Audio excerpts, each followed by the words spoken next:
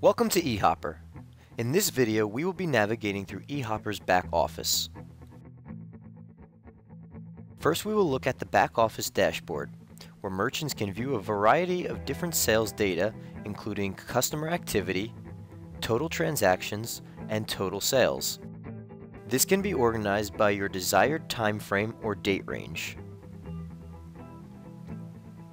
The dashboard also features access to our dedicated eHopper support team and a task manager where you can create custom tasks and notes to keep your business organized.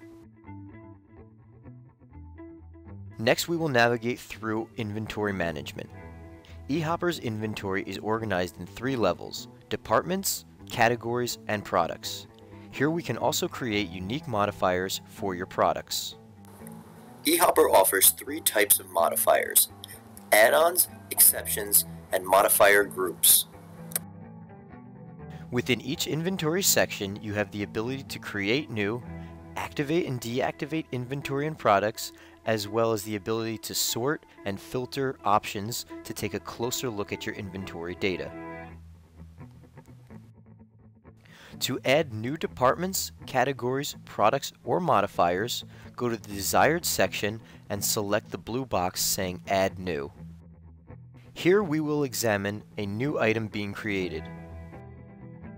Every item must be linked to a category and department before being made active.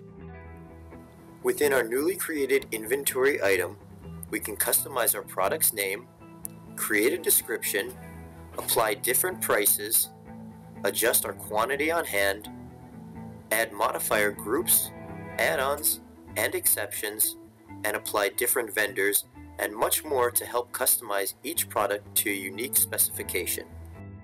Once your item details are completed, press Done, and your new item will automatically be saved in your inventory database for future modification. Last, we will view our Employees section. Here we can add new employees with individualized details.